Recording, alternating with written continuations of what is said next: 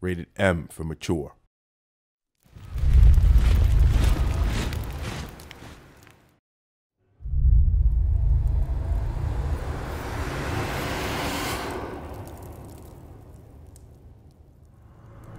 Legend says that Damocles was a great warrior.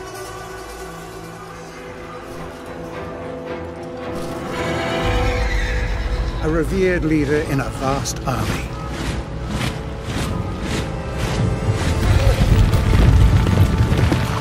During a massive battle, his cowardly commanders abandoned him.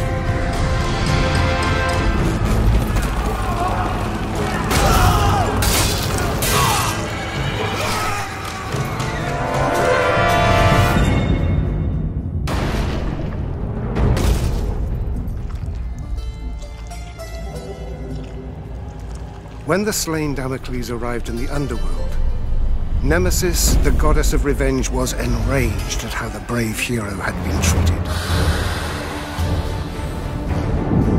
She allowed Damocles to return to the world as a vengeful spirit, a ghostly, black-armored centurion who would hunt down and kill each of the generals who had wronged him.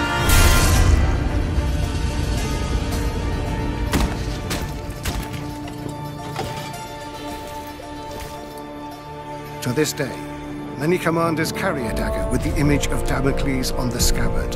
This dagger reminds them to always look after their men or risk the Black Centurion returning from the dead to avenge their selfish mistakes. Achieved with CryEngine.